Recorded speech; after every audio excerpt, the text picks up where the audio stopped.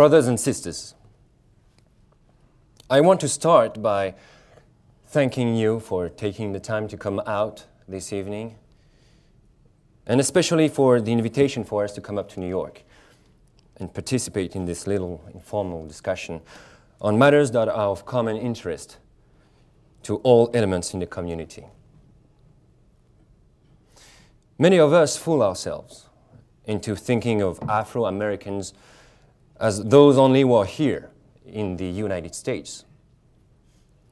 America is North America, Central America, and South America.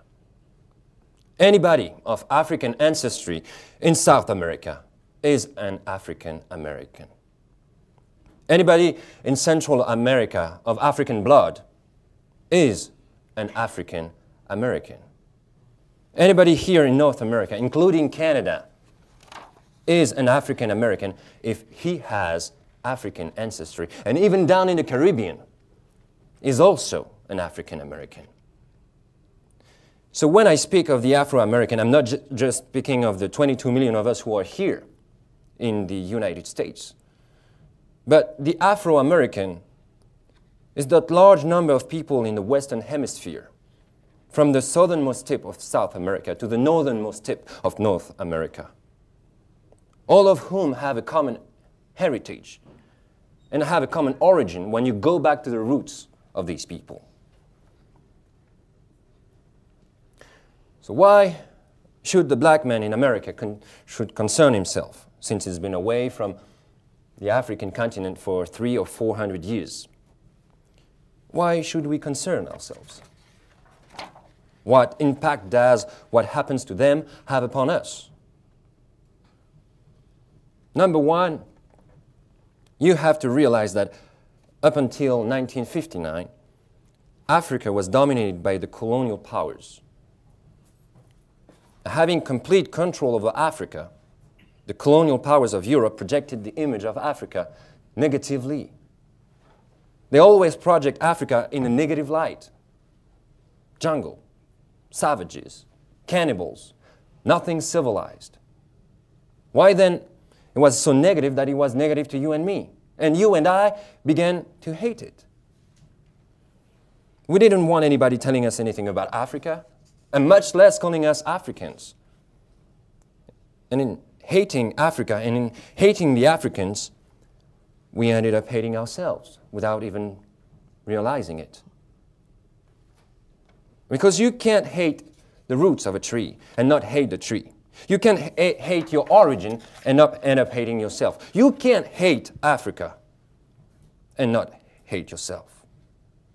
And you show me one of these people over here who's been thoroughly brainwashed and have a negative attitude toward Africa.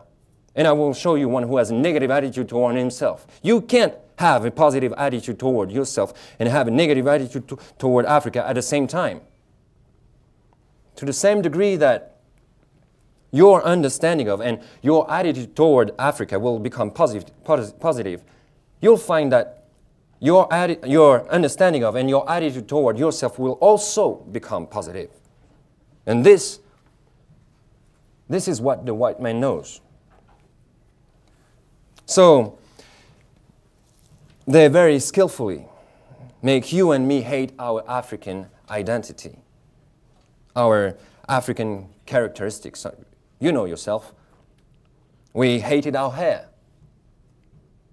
We hated the shape of our nose. We wanted one of those long, dog like noses, you know?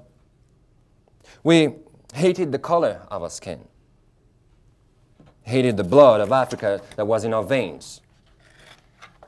And in hating our features and our skin and our blood, well, we had to end up hating ourselves. And we hated ourselves. Our color became to us a chain. We felt that it was holding us back. Our color became to us like a prison, which we felt that was keeping us confined, not letting us go this way or that way. We felt all of, all of these restrictions were based solely upon our color. And this and the psychological reaction to that would have to be that as long as we felt imprisoned or chained or trapped by black skin, black features, black blood, that skin and those features and that blood that was holding us back automatically had to become hateful to us. And it did become hateful to us. It made us feel inferior. It made us feel inadequate. It made us feel helpless. And when we felt victim to the feeling of inadequacy or inferiority or helplessness, well, we turned to somebody else to show us the way. We didn't have any confidence in another black man to show us the way. In those days, we didn't. We didn't think a black man could do anything but play some horns, you know, make some sound, make you happy with some songs.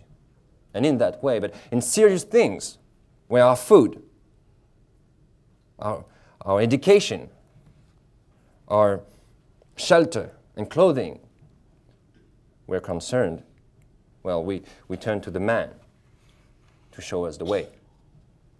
We never thought in terms of bringing these things into, into existence for ourselves. We never thought in terms of doing things for ourselves because we felt helpless. What, what made us feel helpless was our hatred for ourselves. And you'd be surprised to discover that deep within the subconscious of the black man in this country, he is still more African than American. He thinks that he's more American than African because the man is driving him, the man is brainwashing him every day. He's telling him, You are an American. You are an American. Man, how could you think you're an American when you haven't ever had any kind of an American treat over here? You have never. Never. Ten men can be at a table eating, you know, dining. And I can come and sit down where they're dining. Well, they are dining. I got a plate in front of me, but nothing is on it. But because all of us are sitting at the same table, are we all diners? I'm not a diner until you let me dine. And then I become a diner. Just being at the table with others who are dining doesn't make me a diner. And this is what you get to get in your head here in this country. Just because you're here in this country doesn't make you an American. No. You've got to go farther than that before you can become an American. You've got to enjoy the fruits of Americanism. And you haven't enjoyed the fruits. You've enjoyed the thorns, you've enjoyed the thistles, but you have not enjoyed the fruits. No, sir. So I point these things out, brothers and sisters, so that you and I will know the importance of being in complete unity with each other and not letting the men maneuver us into fighting one another. I say again that I'm not a racist. I don't believe in any form of segregation or anything like that. I'm for brotherhood for everybody. But I don't believe in forcing brotherhood upon people who don't want it. So long as we practice brotherhood among ourselves, and then others who want to practice brotherhood with us, we practice it with them also. We'll work for that. But I don't think that we should run around trying to love somebody who doesn't love us. Thank you.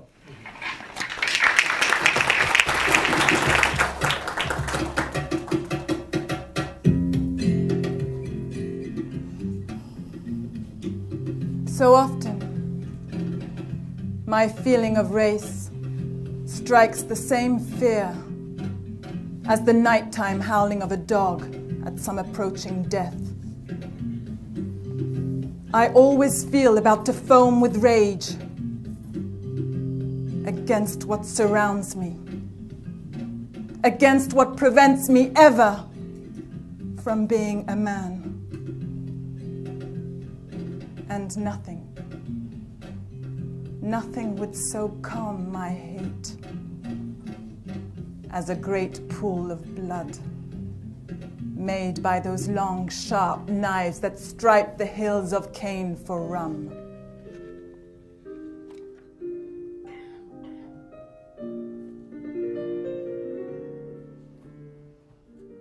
You probably know what slavery is.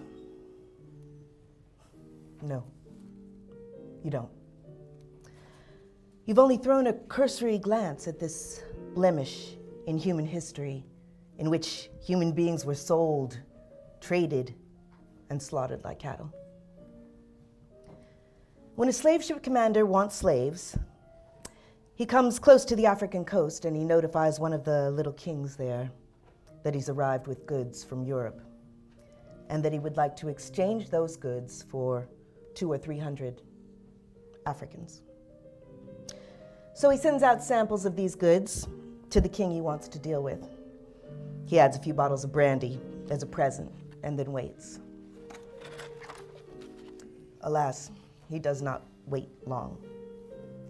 At dawn, he can see fires burning throughout the villages, and at night, he hears the lamentations of mothers whose sons are being kidnapped, the wails of children whose fathers have been suddenly snatched away, and the strangled cries of those who prefer to die on the spot than be dragged away from their homeland to languish the rest of their lives as slaves in foreign lands.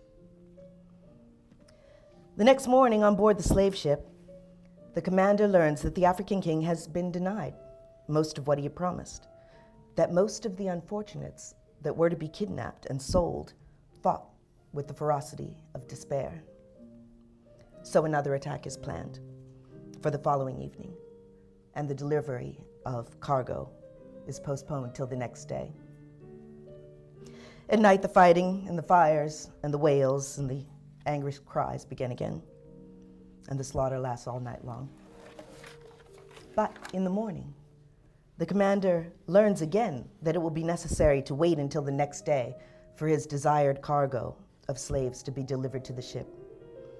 However, it is a certainty tonight he shall have it, for the African king has ordered his warriors to capture the promised slaves from his own kingdom.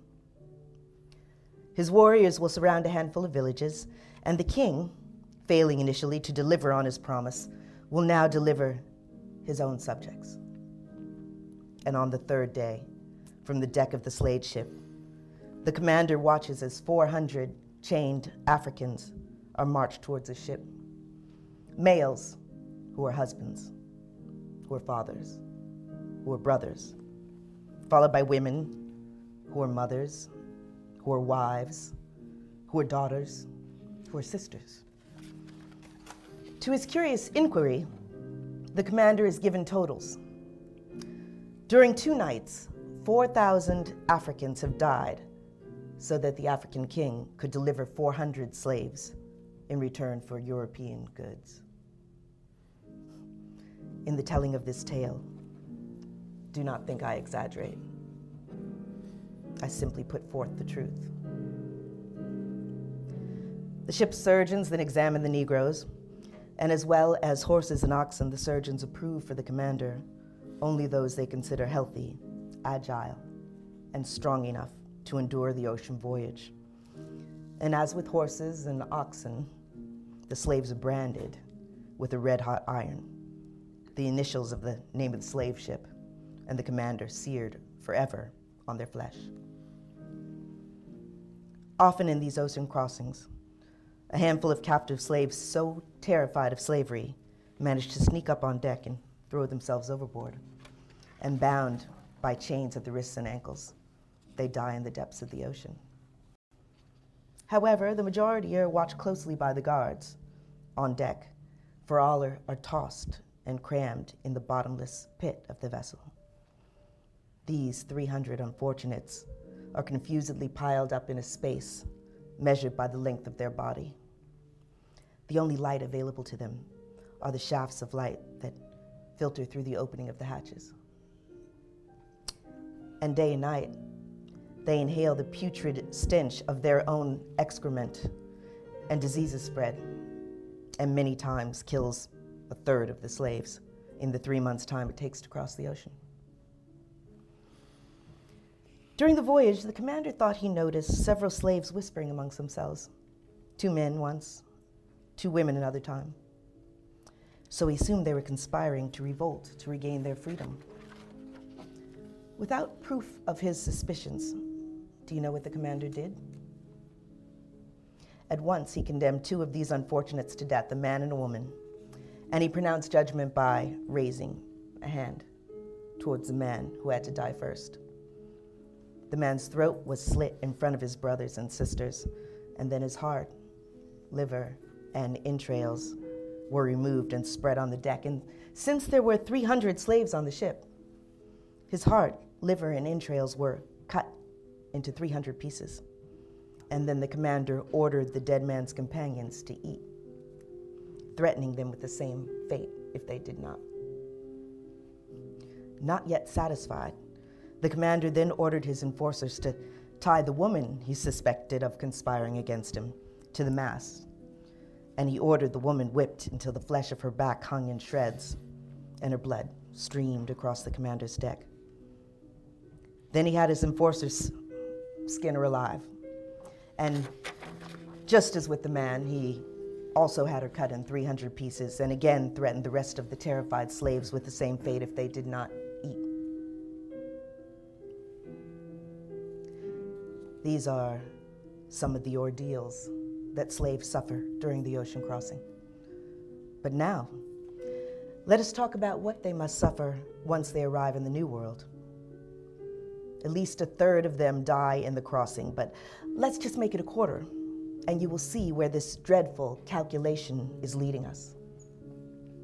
Another quarter of them will die not long after placing foot in the Americas. They will die from fevers and scurvy and infections, a blessing from the climate of Africa for her children who make it to the Americas. Every year, England exports 100,000 slaves, and France another 50,000. Half of this number die, either in the crossing or setting foot in the New World. So it's 75,000 that these two civilized nations are responsible for killing each year in order to provide 75,000 slaves to their colonies. Now count. Those of you here who are listening to me, please, total up the outrageous numbers killed by these two so called civilized nations during two centuries of triangular trade without showing any profits. 75,000 Africans a year during a span of 200 years gives us a figure of 15 million people killed. And if you add the rest of the Africans that other civilized nations of Europe are responsible for killing, you will have a total of 30 million souls exterminated by the insatiable greed of European colonialism. Do you know how a slave owner counts? No? You do not? Then let's listen to him. Hmm. For a Negro, I roughly pay 40 pounds. All included, each one brings me back approximately 7 pounds oh, if I feed them decently. But if I only take off the value of two pennies a day on their food, this savings on each Negro gives me three pounds profit, which is 900 pounds on my 300 slaves, in addition to the seven pounds I already make on each one.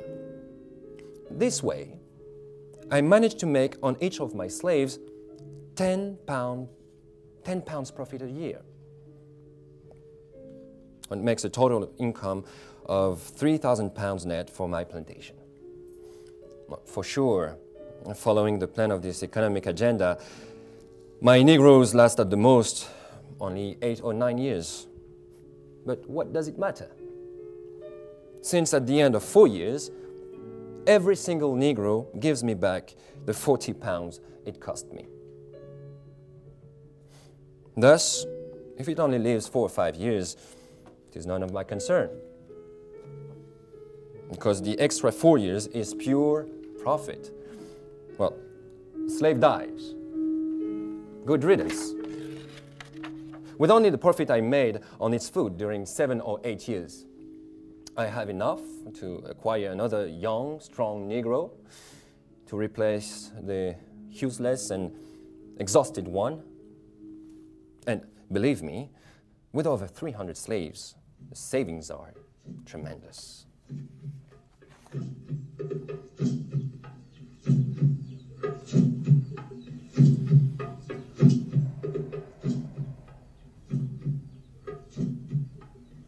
I gulp down seven drinks of water several times a day, and all in vain, instinctively, like the criminal to the crime. My childhood returns in a rousing fit of hiccups. Talk about calamity. Talk about disasters. I'll tell you. My mother wanted her son to have good manners. Keep your hands on the table. We don't cut bread, we break it. We don't gobble it down. The bread your father sweats for, our daily bread. Eat the bones carefully and neatly. A stomach has to have good manners too. And a well bred stomach never burps. A fork is not a toothpick. Don't pick your nose in front of the whole world and sit up straight. A well bred nose doesn't sweep the plate. And then, and then, and then, in the name of the Father and the Son and the Holy Ghost, at the end of every meal. Talk about calamity. Talk about disasters. I'll tell you. My mother wanted her son to have the very best marks. If you don't know your history, you won't go to Mass tomorrow in your Sunday suit. This child will disgrace our family name. This child will be. In the name of God, be quiet. Have I or have I not told you to speak French? The French of France. The French that Frenchmen speak. French, French. Talk about calamity. Talk about disasters. I'll tell you. My mother wanted her son to be a mama's boy. You didn't say good evening to our neighbor. What? Dirty shoes again? Oh, and don't let me catch you anymore playing on the street or on the grass in the park underneath the war memorial. Playing or picking a fight with what's his name? What's his name who isn't even baptized? Talk about calamity. Talk about disasters. I'll tell you. My mother wanted her son to be very dough, very ray, very me, very fa, very sol, very la, very ti. Very do, re, mi, fa, sol, la, ti, do. I see you haven't been to your violin lesson. Banjo. Did you say a banjo? What do you mean, young man? No, indeed, you know there won't be any ban or joe or gee or tie in this house. They are not for colored people. Leave them to the black folks.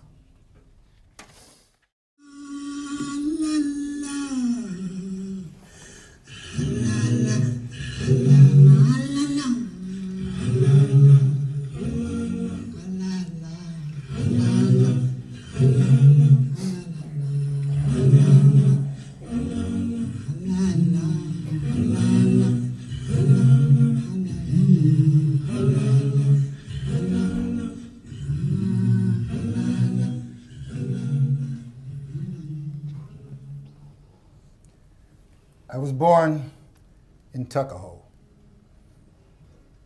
near Hillsborough, and about 12 miles from Easton, in Talbot County, Maryland.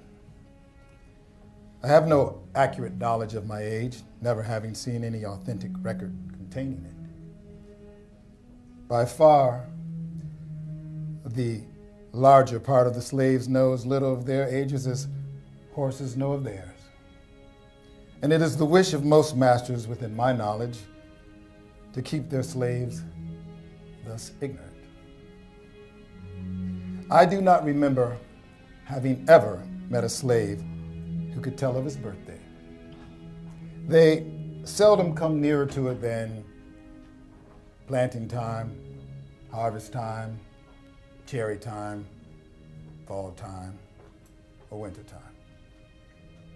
A want of information concerning my own was a source of unhappiness to me even during childhood.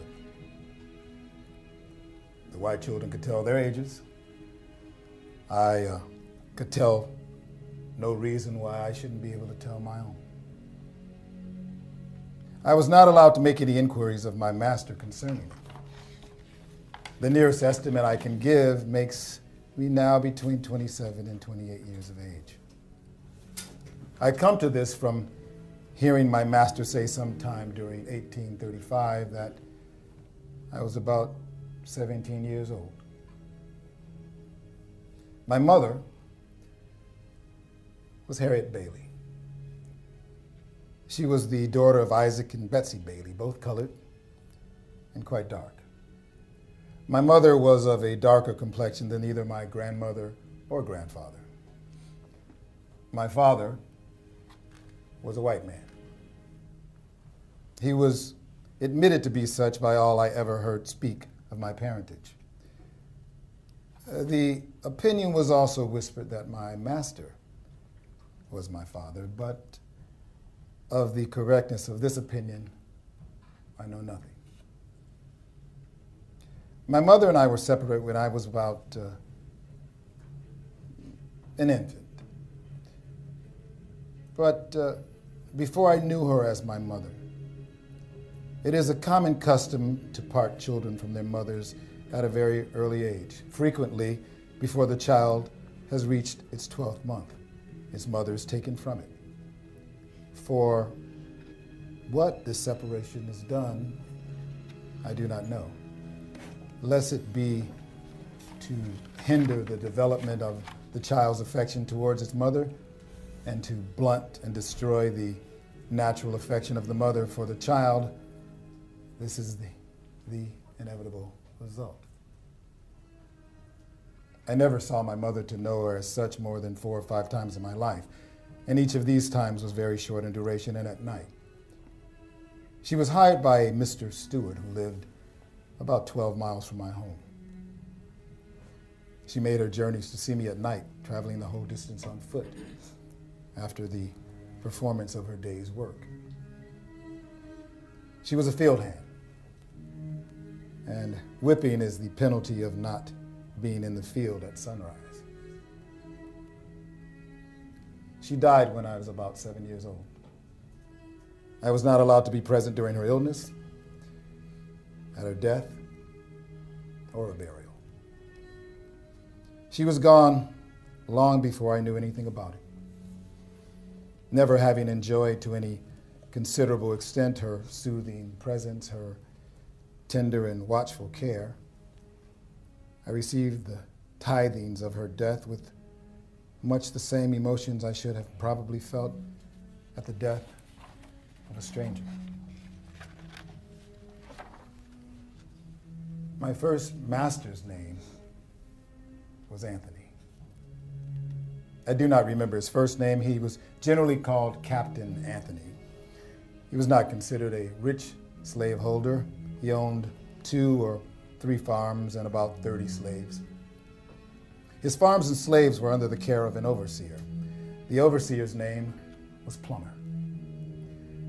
Mr. Plummer was a miserable drunkard, a profane swearer, and a savage monster.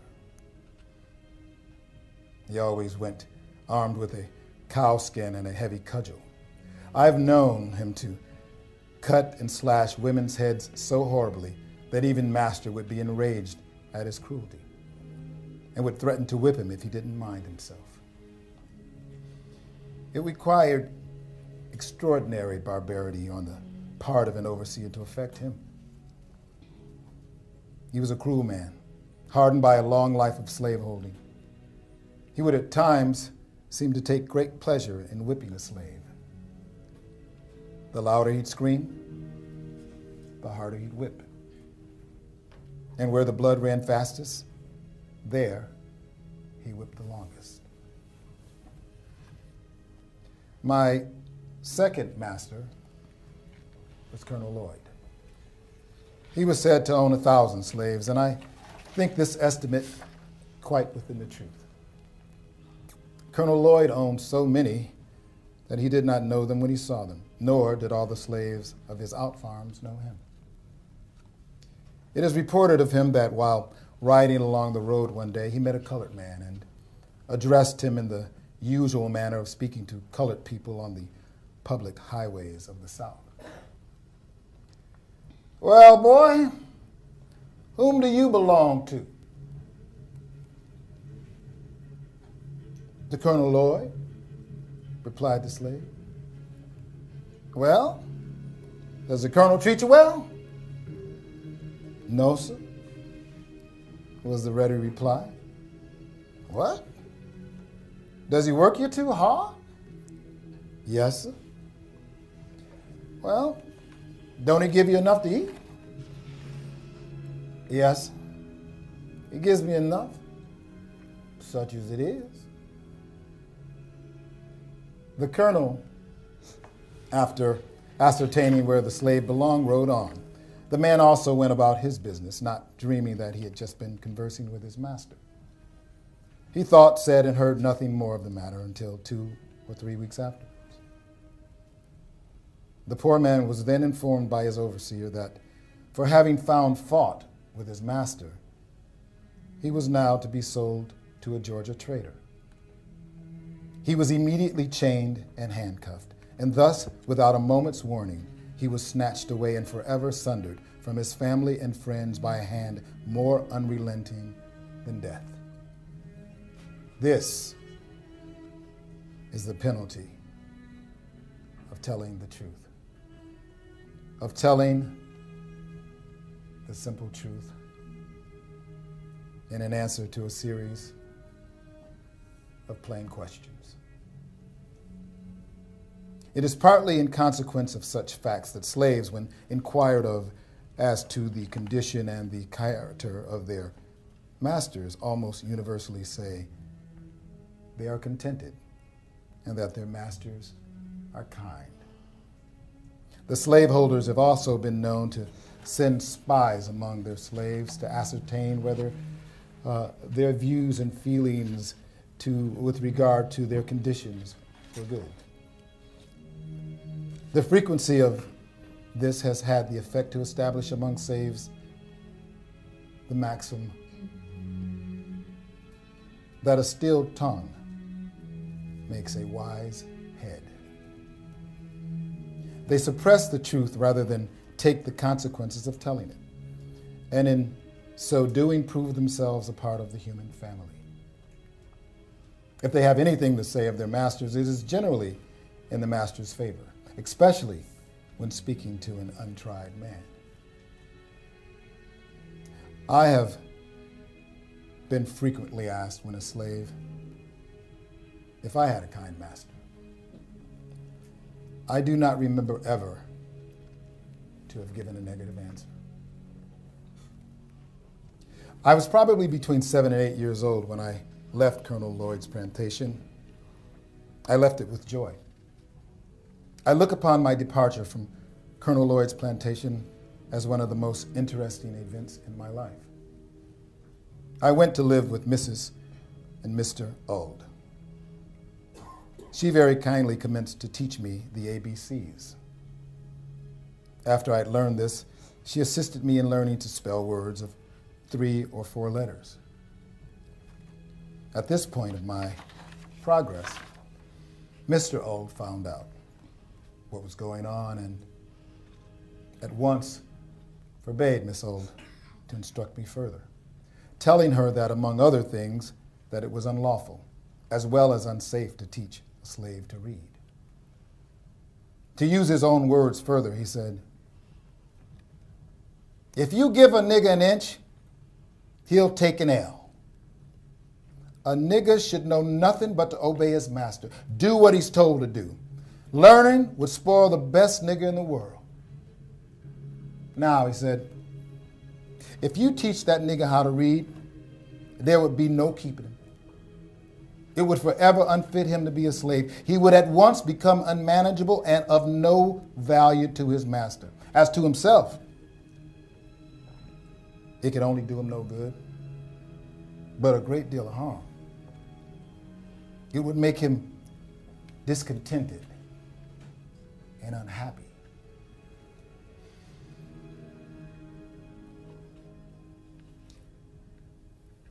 These words sank deep into my heart, stirred up sentiments within that lay slumbering, and called into existence an entirely new train of thought.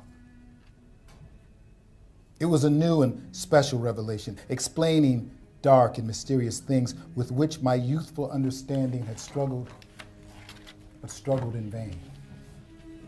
I now understood what had been to me a most perplexing difficulty.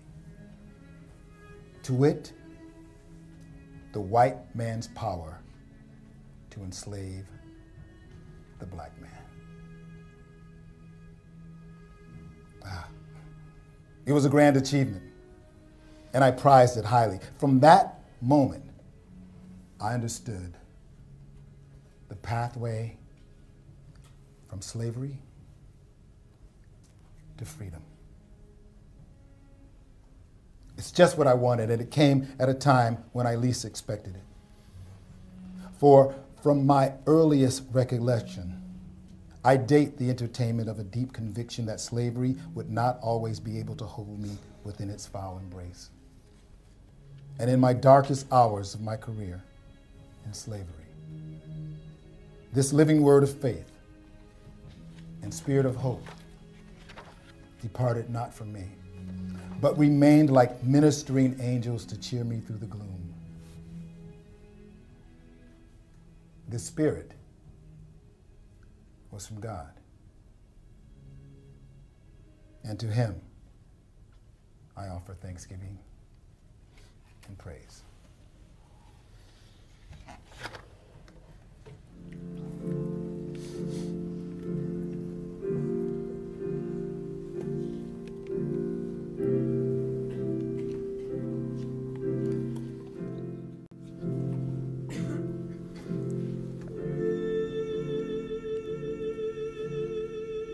I feel ridiculous in their shoes, in their tucks, in their starched shirt, their monocle, their top hat. I feel ridiculous with my big toes not made to sweat from morning to evening, undressed swaddling clothes, weakening my members, taking the G string beauty from my body.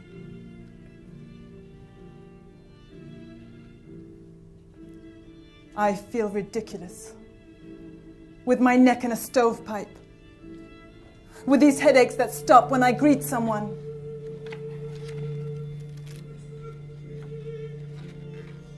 I feel ridiculous. In their drawing rooms, in their manners, in their curtsies, in their grimaces.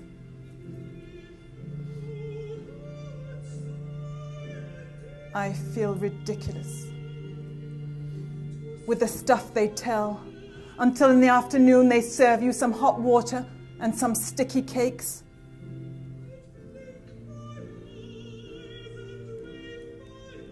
I feel ridiculous. With the theories they spice, to the taste they need, their passions, their instincts, open nightly like a mattress.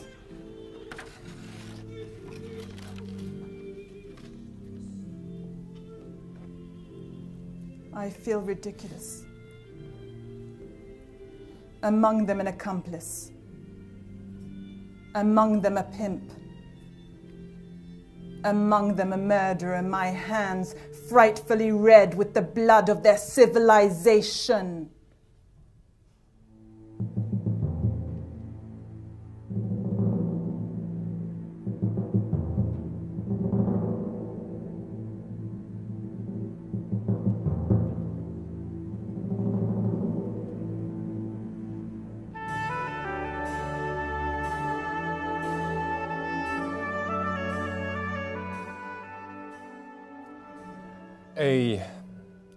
Civilization that proves incapable of solving the problems it creates is a decadent civilization.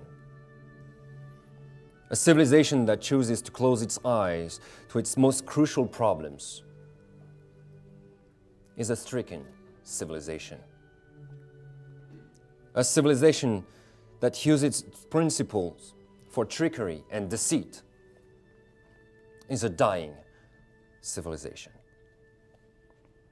The fact is that the so called European civilization, the Western civilization as it has been shaped by two centuries of bourgeois rule, is incapable of solving the two major problems to which its existence has given rise the problem of the proletariat and the colonial problem. Given that Europe is unable to justify itself either before the court of reason or before the court of conscience, and that increasingly Europe takes refuge in a hypocrisy which is all the more odious because it is less and less likely to deceive, Europe is indefensible. And since I have, I have been asked to speak about colonization and civilization, let us go straight to the principal lie, which is the source of all the others colonization and civilization. In dealing with this subject, the most common curse is to be duped by collective hypocrisy which cleverly misrepresents problems, the better to legitimize the hateful solutions provided for these problems. In other words, the crucial thing here is to see clearly, to think clearly, to hear the danger, and to answer clearly the first innocent question What fundamentally is colonization? To agree on what it is not neither evangelization nor a philanthropic enterprise, nor a desire to push back the frontiers of ignorance, disease, and tyranny, nor a project undertaken for the greater glory of God, nor an attempt to extend the rule of law.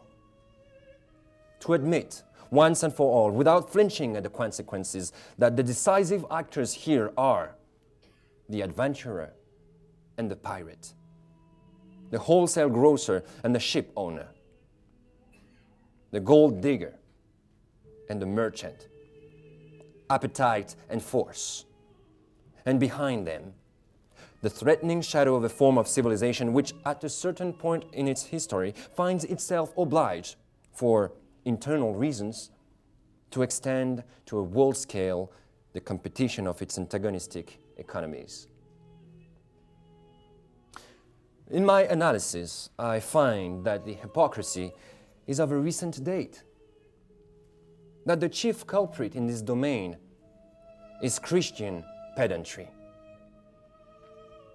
which laid down the dishonest equations Christianity equals civilization, paganism equals savagery, from which there could not but ensue abominable colonialist and racist consequences, whose victims were to be the Indians, the yellow people, and the black people.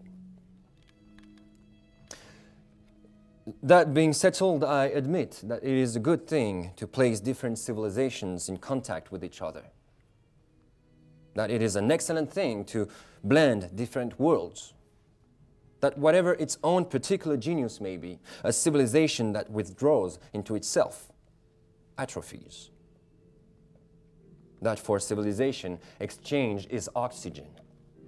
That the great good fortune of Europe is to have been the crossroads.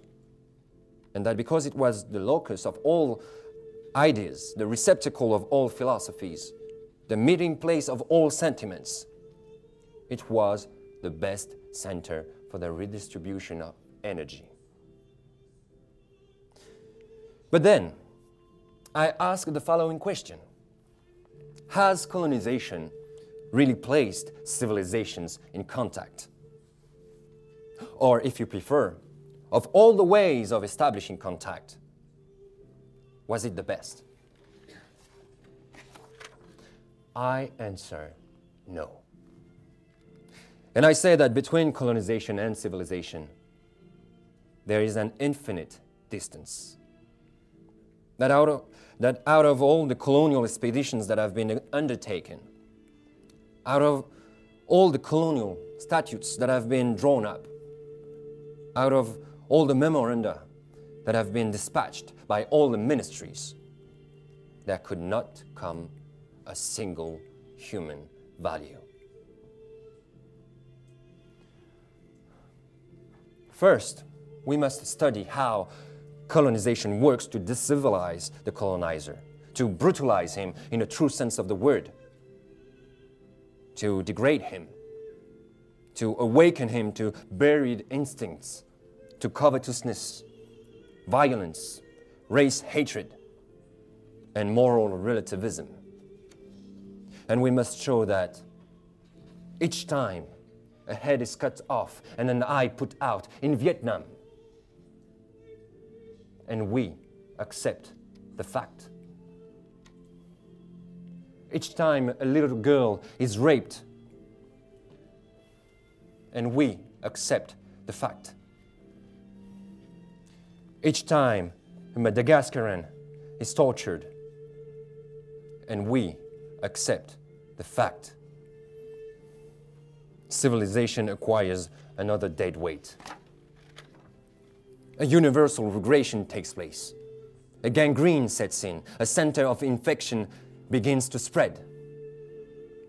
And that, at the end of all these treaties that have been violated, all these lies that have been propagated, all these punitive expeditions that have been tolerated, all these prisoners who have been tied up and interrogated all these patriots who have been tortured. At the end of all this racial pride that has been encouraged, all the boastfulness that, have, that has been displayed, poison has been instilled into the veins of Europe, and slowly but surely, the continent proceeds toward savagery. And then, one fine day, the bourgeoisie is awakened by a terrific reverse shock.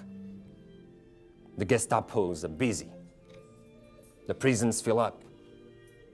The tortures around the racks invent, refine, discuss. People are surprised. They say, How strange. But never mind, it's Nazism. It will pass and they wait and they hope and they hide the truth from themselves that it is barbarism. But the supreme barbarism, the crowning barbarism that sums up all the daily barbarisms, that it is Nazism, yes.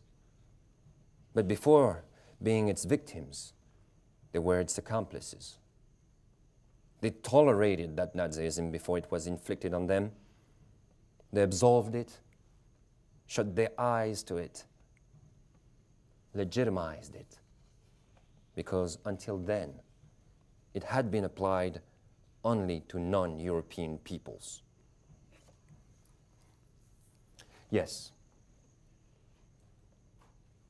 it would be worthwhile to study clinically in detail the steps taken by Hitler and Hitlerism and to reveal to the very distinguished, very humanistic, very Christian bourgeois of the 20, 20th century that without his being aware of it, he has a Hitler inside him.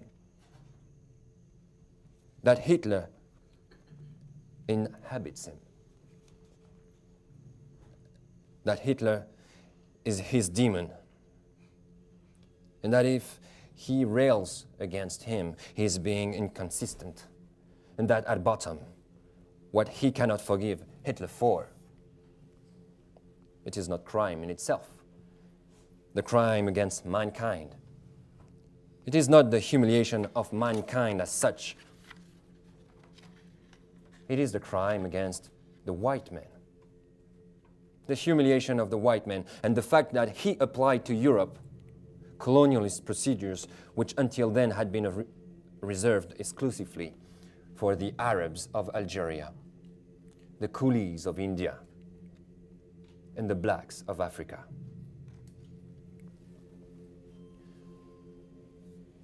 And that, that is the great thing I hold against pseudo-humanism. That for too long it has diminished the rights of man that its concept of those rights has been and still is narrow and fragmentary, incomplete and biased, and all things considered, sordidly racist. What am I driving at? At this idea that no one colonizes innocently, that no one colonizes either with impunity. That a nation which colonizes, that a civilization which justifies colonization and therefore force, is already a sick civilization. A civilization that is morally diseased and irresistibly progressing from one consequence to another, one denial to another, calls for its, its Hitler. I mean, its punishment. My turn to state an equation.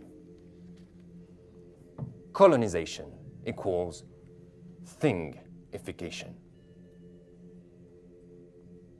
I hear the storm. They talk to me about progress, about achievements, diseases cured, improved standards of living. I am talking about societies drained of their essence cultures trampled underfoot, institutions undermined, lands confiscated, religion smashed. I am talking about millions of men torn from their gods, their land, their habits, their life, from life, from the dance, from wisdom. This being said, it seems that in certain circles, they pretend to have discovered in me an enemy of Europe and a prophet to the return to the pre-European past. The truth is that I have said something very different. To wit, that the great historical tragedy of Africa has been not so much that it was too late in making contact with the rest of the world as the manner in which that contact was brought about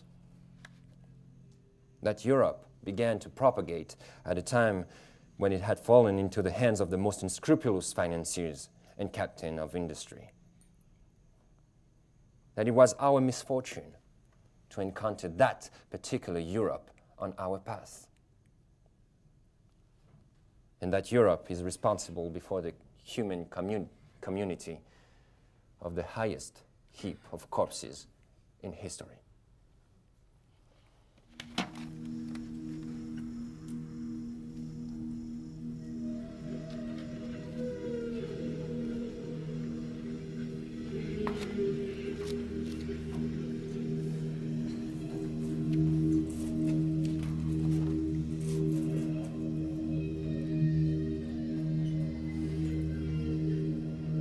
One day, I suddenly realized I had forgotten name, age, sex, address, and race.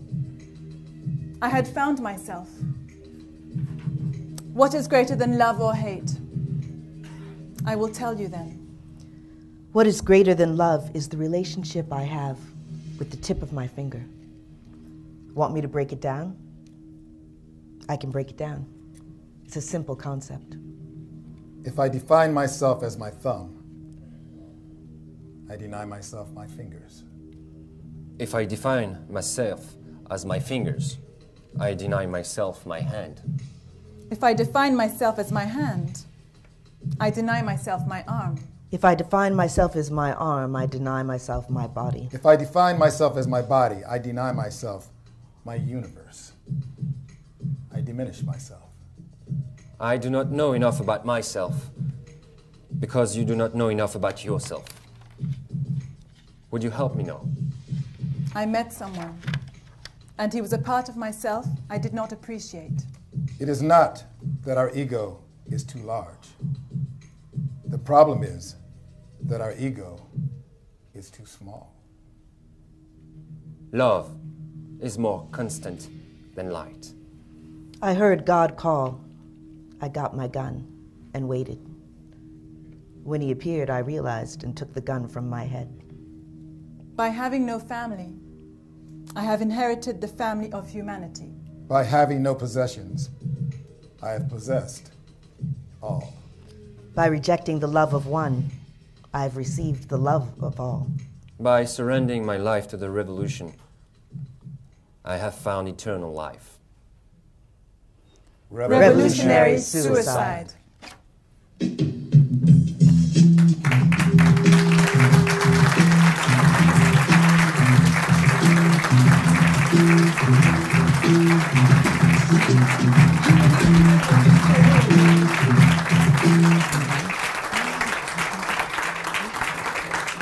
Dolores Chaplin. Kasi Lemmons. Vondie Curtis Hall. Matt Larson. And Ash Bhalla. Thank you. And Stany Coppet.